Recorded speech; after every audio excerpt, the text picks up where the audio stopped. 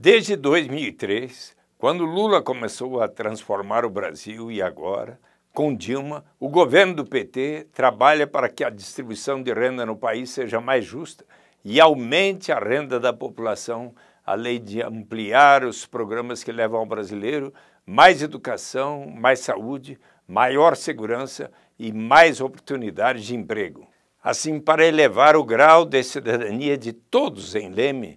para haver maior participação popular nas decisões de tudo que é feito com o dinheiro do povo